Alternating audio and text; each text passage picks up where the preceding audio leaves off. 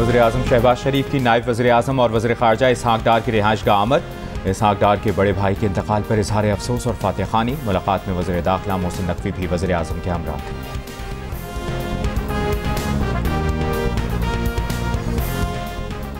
ए N P सरबरा एमल वली खान की दहशत गर्दों की दोबारा आबादकारी के खिलाफ दरख्वास्त पिशावर हाई कोर्ट ने एमल वली खान की दरख्वास्त खारिज कर दी। एमल वली ने जिम्मेदारान के तयन के लिए कमीशन बनाने की दरख्वास्त दायर की थी।